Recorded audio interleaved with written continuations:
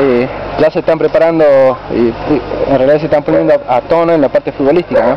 Sí, la verdad que estamos, eh, el equipo está haciendo un buen trabajo físico, ahora estamos tratando de hacer más con pelota, pero bien contento porque la competencia está buena, el equipo está trabajando fuerte y, esperemos que las cosas nos salgan bien a todos. Se ha, armado, se ha armado un buen plantel, ¿no? un buen grupo como para pelear qué cosas.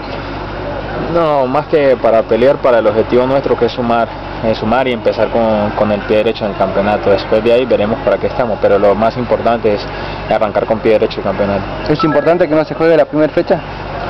y siempre y cuando se pueda sumar minutos de trabajo y estar a, tono de lo que pide el cuerpo técnico es importante. Pero igual uno imagina que la ansiedad ya por entrar a la cancha y demostrar eh, que se han amoldado como equipo se debe sentir. Seguro, pero como te digo, entre más días tengo uno de trabajo y más y conozca un poco más al compañero, yo creo que va a ser mejor para el futuro. Justamente eso, ¿no? Te vas conociendo más con, con Páez, ¿no?